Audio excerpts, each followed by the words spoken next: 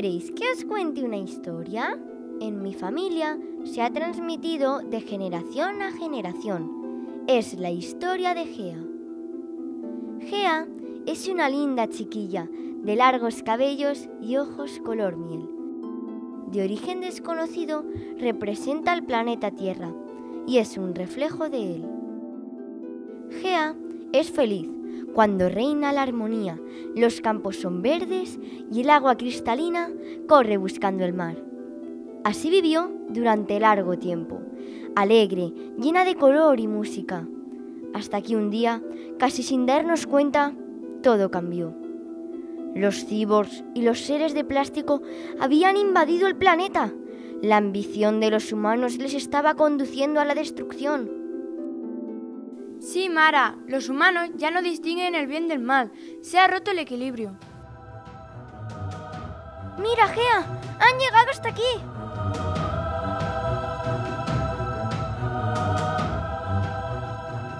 Furuk, rey del fuego, encargado de dar luz y calor a la tierra, olvidó su cometido original, desatado por la furia.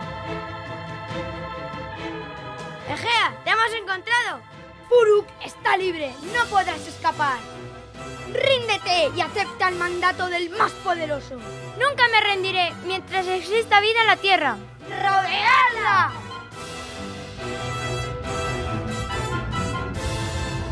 Aire, agua y roca estarán bajo nuestro poder. Espíritus del bosque y animales están acorralados. Mara, corre, avisa Mineral, nos encontraremos en el bosque. Gea, salva tu vida. ¡No podrás escapar! Gea huyó desesperada, atravesando bosques y praderas, mientras era perseguida por Furuk, que arrasaba todo a su paso. Era imparable. El aire desprendía olor a humo de árboles quemados y volcanes en erupción. El agua escaseaba y estaba contaminada. Los residuos de los humanos empezaban a formar nuevos continentes.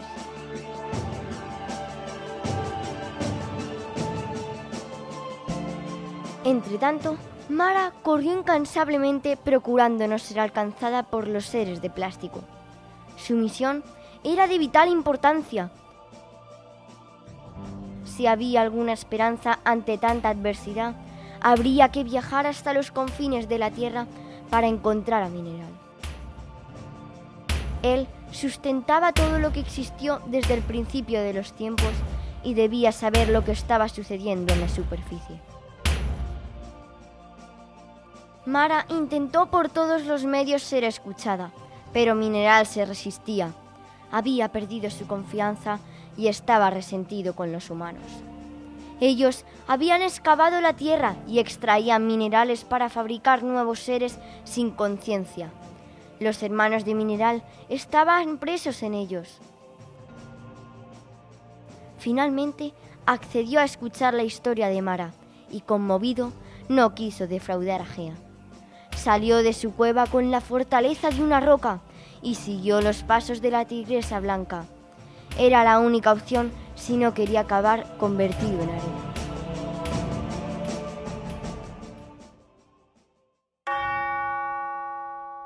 El agua, el viento y demás seres elementales se ocultaron más allá del bosque de los portales. Los pocos humanos que sobrevivieron se vieron obligados a refugiarse entre escombros y vertederos. Allí fue a parar la pobre Gea, convertida en una triste y desvalida niña. Aquellos niños refugiados y asustados siguieron sus últimos pasos hasta verla desfallecer. Chicos, mirad, necesita ayuda. ¡No la toques! ¡Podría estar contaminada! ¿Cómo ha llegado hasta aquí? Nadie debe saber dónde está nuestro escondite. Furuk puede seguir su rastro. Terminará por encontrarnos. Vamos a deshacernos de ella. Yo creo que si ha llegado hasta aquí merece una oportunidad. Por favor, necesito ayuda. Avisad al Doctor Strange antes de que sea demasiado tarde. Dejadla, es Gea, ¿no la reconocéis? En ella está contenida la esencia de la Tierra. Si muere ella, es el final para todos. No podemos quedarnos de brazos cruzados. id a buscar a Strange. Nosotras cuidaremos de ella. El doctor Strange es un desertor. No es cierto. Se marchó porque fue traicionado. Yo sé dónde está el castillo de su destierro. No perdamos ni un minuto más.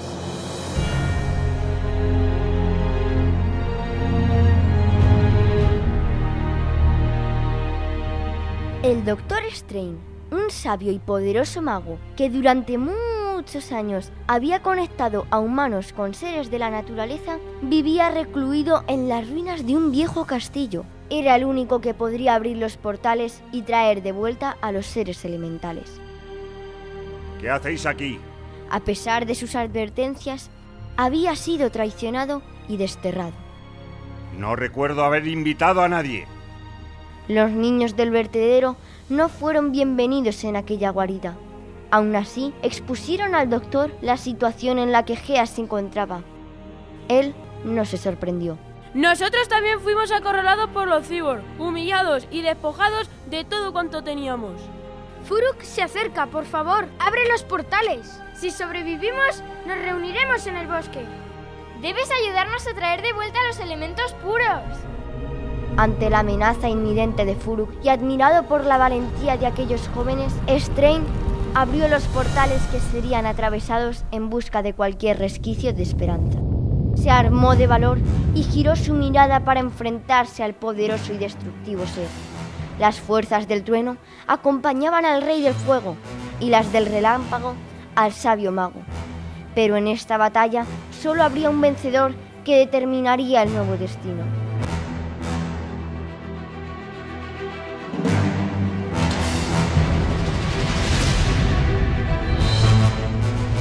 Un rayo de luz cegadora ayudó a Strain a reducir a Furuk a una simple antorcha.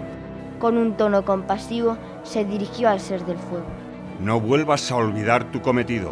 Ahora ve, ofrece luz y calor a Gea.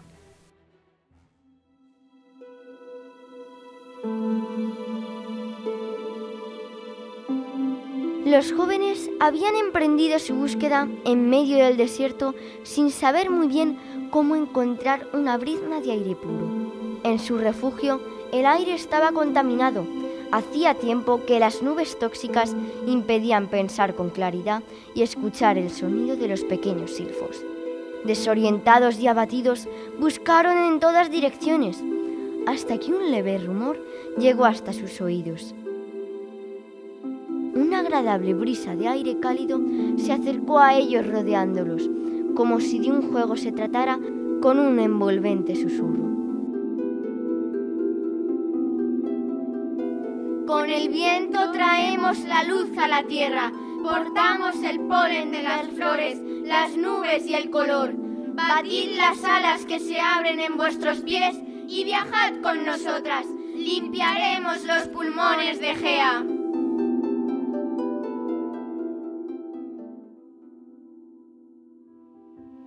El mundo de la gente menuda parecía inalterable en aquel lugar donde el aire era fresco y limpio. Era uno de los pocos sitios que aún se mantenían protegidos lejos de la destrucción de Furuk. Cuando Ana, Lira y Gorg llegaron, por unos instantes sintieron júbilo al recordar cómo había sido Gea en su origen y cómo podría volver a ser si superaban esta dura prueba. Miraban con atención cada rincón a la vez que, sin saberlo, eran observados. Se detuvieron ante la laguna y gritaron una y otra vez pidiendo ayuda. ¡Ondinas! ¡Silfos! ¡Seres del bosque! ¡Necesitamos vuestra ayuda! ¡Gea está en peligro!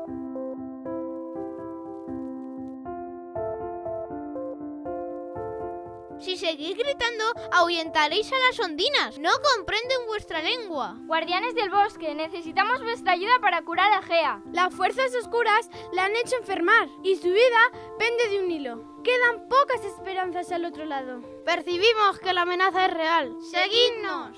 Solo si llevamos agua pura y frutos del bosque podría curarse.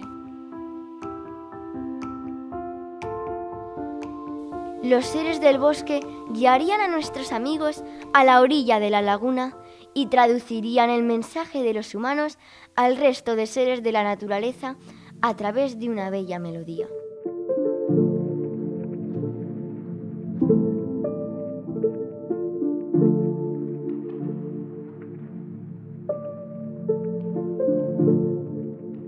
Todos los elementos necesarios para salvar a Gea habían sido convocados y empezaron a emerger. Traían consigo el agua más pura que se hallaba en el fondo del lago. Juntos emprenderían el viaje hacia el bosque de los portales.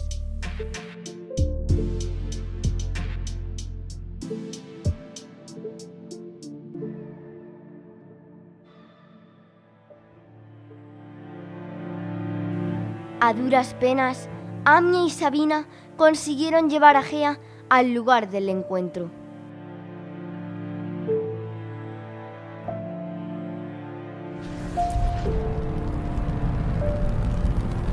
Necesita los elementos puros.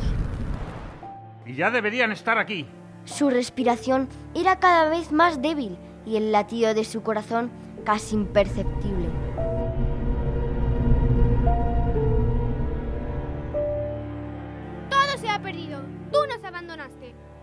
Yo no tuve la culpa de tanto despilfarro de los humanos. No es momento de discutir. El tiempo se acaba. El temblor de la tierra anunciaba el final de aquel tiempo.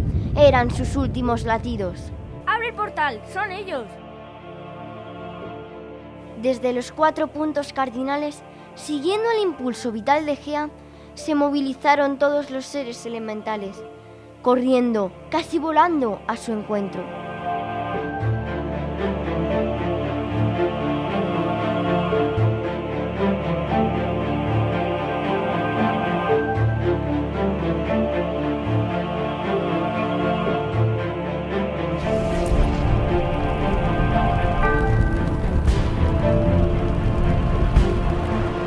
A través de los portales abiertos por Strain, trajeron el último halo de esperanza nunca perdida, unidos por las hebras invisibles de la primera ley del universo, el amor. Humanos, portadores de la fuerza creadora, seres del bosque, que nutren de alimento a la tierra, animales, compañeros del humano. Agua, señora de las emociones, fuego, el que aviva el latido, y mineral, el que siempre existió manteniendo sobre sus hombros los cimientos de todo. Arropando a Gea, en la fuerza del círculo depositaron sus ofrendas. Agua, viento, fuego, animales, mineral, seres del bosque, movimiento circular.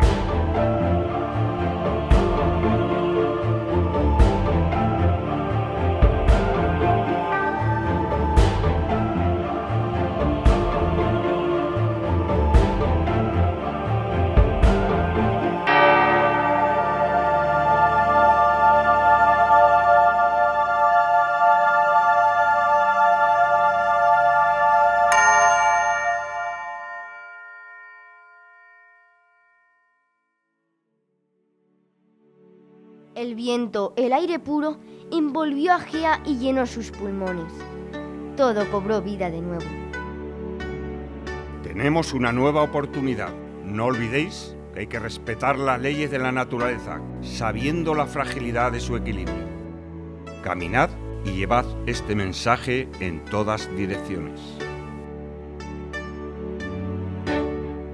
Gea sonreía recobrando de nuevo su esplendor.